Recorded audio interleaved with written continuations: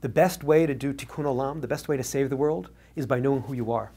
The best way to be a part of the human race is to belong to a certain tribe and be proud of that tribe, have comfort in who you are, and more than that, also use that tribe, use that nation to be a part of something bigger than yourself. And that's the vehicle for nationalism, for Zionism.